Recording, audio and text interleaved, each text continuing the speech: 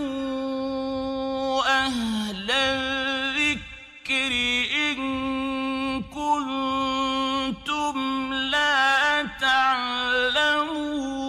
تعلمون ওয়ালাইকুম সালাম রহমতুল্লাহ বরকাতুহ আলহামদুলিল্লাহ ওয়াহদা ওয়াসালাত ওয়াসালাম আলা মাল্লা নবিয়া বাদা আহ, সংক্ষিপ্ত আকারে যে বিষয়টি বলবো সূরাতুল ইখলাসের ফজিলত আনাবি হুরায়রা রাদিয়াল্লাহু আনহু আন্না নবিয়্যা সাল্লাল্লাহু আলাইহি সাল্লাম সামিয়া রাজুলান ইয়াকরাউ কুল হুয়াল্লাহু আহাদ ফাকালা ওয়াজাবাত قلت أما وجبت قال الجنة রাহ মালিক তিরমিজি ওয়ান্নাসাই আবু হুরায়রা রাদিয়াল্লাহতে বর্ণিত তিনি বলেন নবী সাল্লাল্লাহু আলাইহি সাল্লাম এক ব্যক্তিকে কুলহু আল্লাহু আহাদ পড়তে শুনে বললেন সুনিশ্চিত হয়ে গেছে আমি শুনে বললাম, কি সুনিশ্চিত হয়ে গেছে?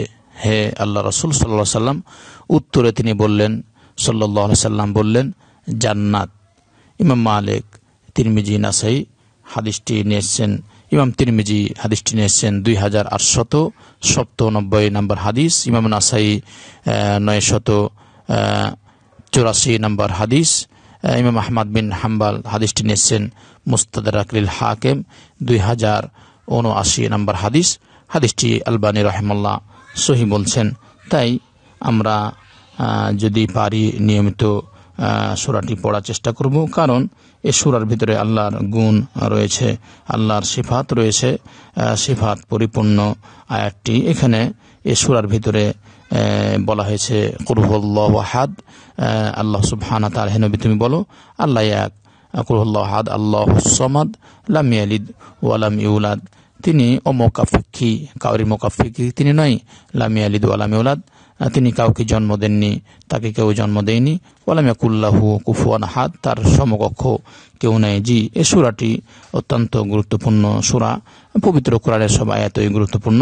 তবে এখানে আল্লাহ সুবাহ তালার সেফাত বর্ণনা করা হয়েছে, কারণ ইহুদিন আসারা এরা বিভিন্নভাবে আল্লাহ সুবাহ তালাকে অপবাদ দিয়েছিল যে তারা তারা মাসিহকে আল্লাহর সন্তান বলতো, নাসাররা আর ওজাইর এরা ইহুদি, ইহুদিরা ওজাইরকে আল্লাহর সন্তান বলতো, জিনা, এগুলা এগুলা মিথ্যা কথা, এদের এদের জবাবে আল্লাহ সুবহানাহু ওয়া তাআলা বলছেন, লাম ইয়ালিদ ওয়া লাম ইউলাদ, তিনি কাউকে জন্ম দেননি তিনাকেও কেউ জন্ম দেননি, তিনি পরিপূর্ণ সিফাতের পরিপূর্ণ সিফাতের অধিকারী তিনি আছেন, থাকবেন তাই আল্লাহ সুবহানা তাআলা সবার স্রষ্টা এই সুরাতের ভিতরে বলা হয়েছে বা অন্য হাদিসে অন্য হাদিসে এর গুরুত্বপূর্ণ বিষয়গুলা উল্লেখ করা হয়েছে।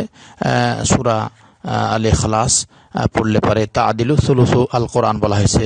তার মানে একবার পড়লে এক তৃতীয়াংশ কোরআন পড়া হয়। এ মর্মে ইমাম বুখারি রহিমাল্লাহ হাদিস নিয়েছেন। তাই সুরাটি যদি আমরা নিয়মিত পড়তে পারি, যে এখানে যেভাবে বলা হয়েছে যে আমরা তাহলে আল্লাহ সুবহান তালা যেন আমাদেরকে সে তৌফিক দান করেন। ওয়াখির আলহামদুলিল্লাহ আলমিন। সুবহানাক আল্লাহ বিহামদিকা আশহাদু আল্লা ইলাহা ইল্লা আন্তা আস্তাগফিরুকা ওয়া আতুবু ইলাইক। আসসালামু আলাইকুম রাহমাতুল্লাহ।